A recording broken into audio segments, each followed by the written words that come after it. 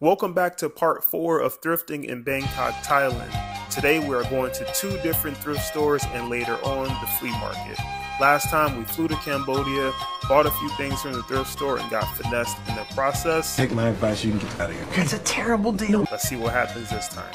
Just walking into this place is called Bang Bang Japan. My love going bang bang. Let's see what we can find.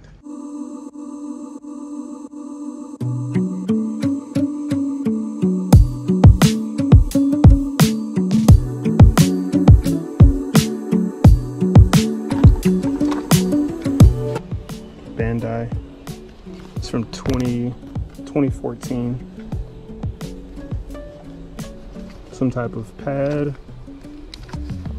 You know, it's got the stylus. Stylus is included. Screen looks okay. And it takes some type of chips. These coin medallion things, I'm pretty sure I can find these. I've seen these before. So if I can find those cheap enough, I can pair that with this and then sell those together as a set. Uh, maybe I can find them in here or I can find them in, um, find them here or find them at the flea market later. It looks interesting, but it also looks fake. Meijer. I don't think this is like the grocery store. I'm looking at this remote control. I looked up the comps and it goes to this robot. What if it doesn't work? It's going to work, Chappie. The robot is going for like, um, robot is selling for like 30 40 dollars and somebody got 30 dollars for this. This it's faded and you see some of the buttons these are faded too. This I might have to wait and hold on to to sell back in the US if this is cheap enough I'll buy this and I'll check the and see if this is corroded at all. Here's uh, I would definitely pick this up if I was in the US uh, Pokemon Diamond Pearl series. Is beat up on the top I mean I would probably value this at like $20 plus shipping maybe $25 but um, from Thailand I don't think anybody's gonna pay for this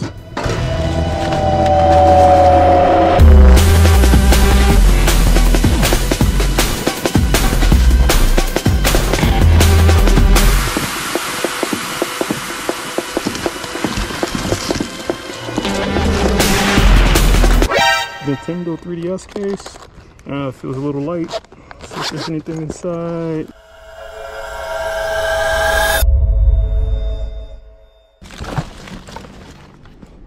Star Wars Episode 1. There Skywalker. Go, Andy, go! He will be hard pressed to catch up with the leaders. 300 yen. At least that's the price it was on it. I might buy this if it's cheap. To be for personal use.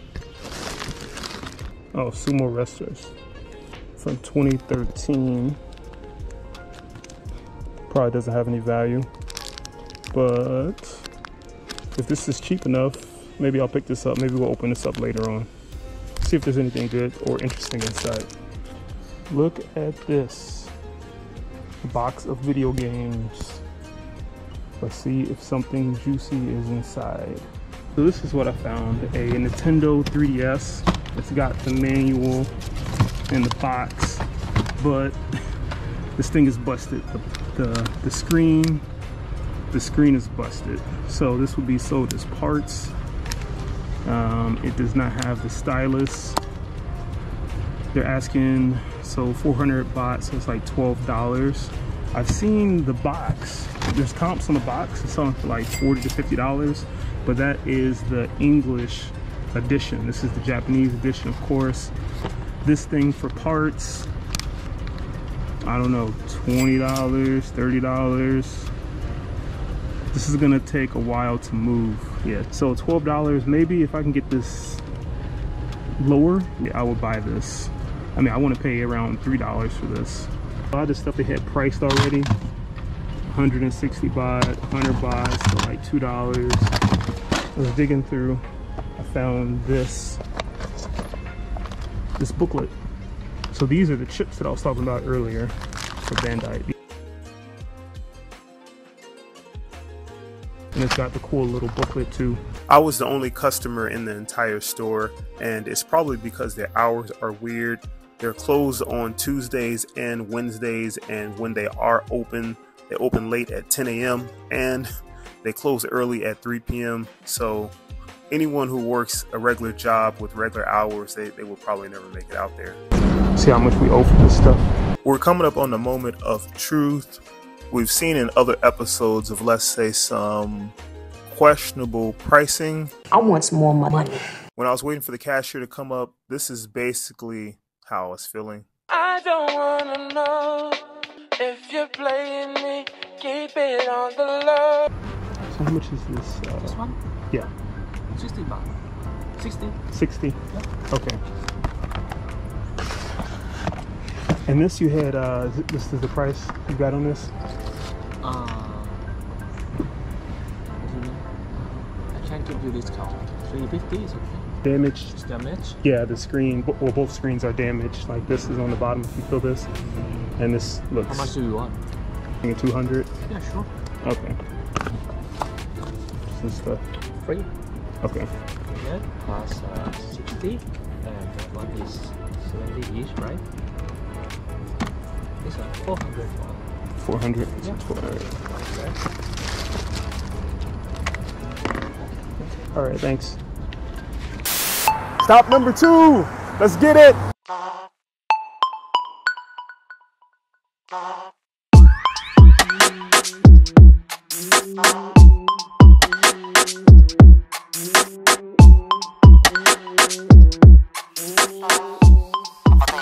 I thought I almost found something here. This is one of those game mats for Dance Dance Revolution. At first glance, it looked like it might be new open box, but it's just used in the original box. Big difference. They're only selling for about $15 plus shipping, so this was a pass. I walked out empty handed after about an hour. It was a smaller store, and I just didn't find anything that was worth picking up. I wanted to show you this because as resellers, we can't just walk into a thrift store and find good inventory every single time.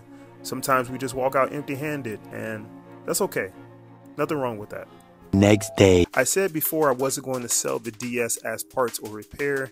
It's going to take way too long to sell it and wait for the right buyer. Now I'm thinking if I can find a place to repair the screen for cheap and sell it as a functioning unit, is going to sell a lot faster and it's going to sell for more money. I was hoping that I don't have to spend more than $30 on the screen replacement. This is part one of two when I mentioned creativity earlier. I need to change my approach to how I'm going to sell here. Most of what I do back home is just not going to work here. You thought this was gonna be easy? So by investing more money into this DS, it should sell faster. Uh, chain LCD 1,200 baht uh, and battery battery 400 baht Can you do a, little discount, a little cheaper, lower? 1,500 baht uh, battery and LCD You sell the charger. 200 baht How long will it take you to fix? uh, tomorrow Can you do 1600? okay, okay.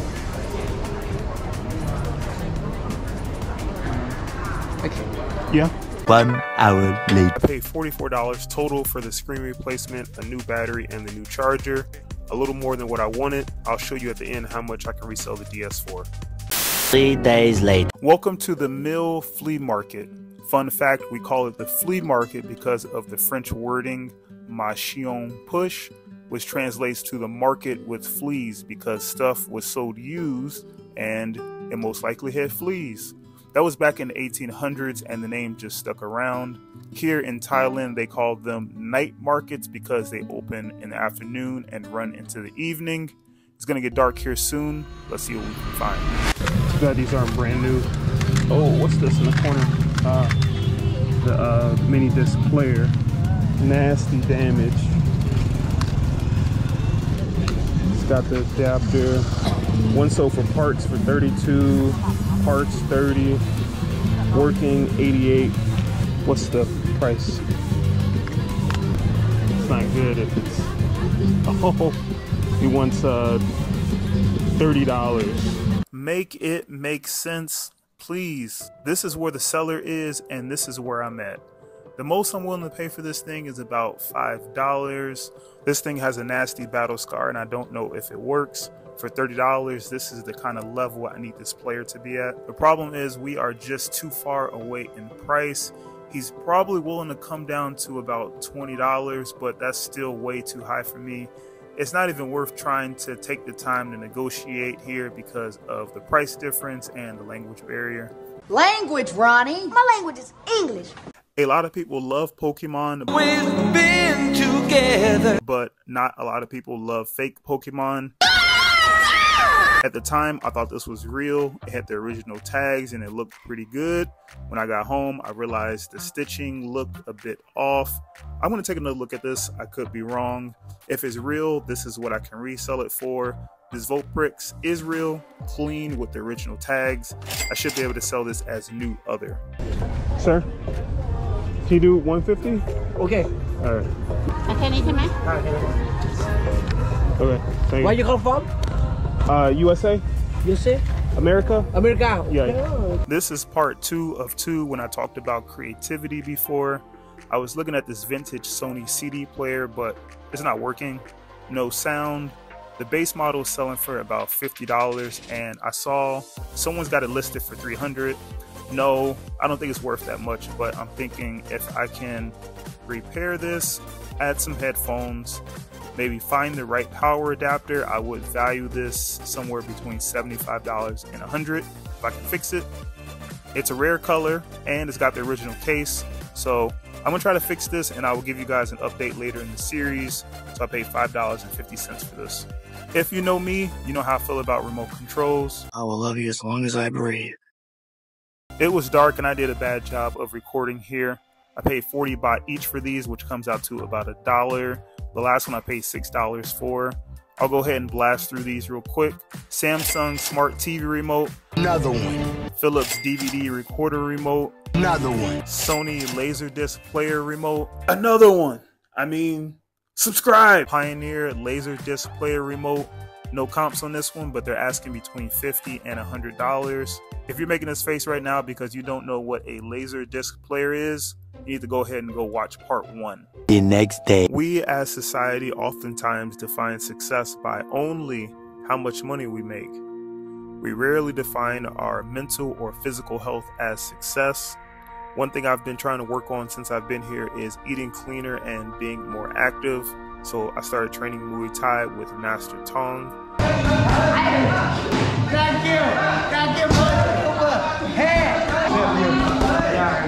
Him and his family, they are great people.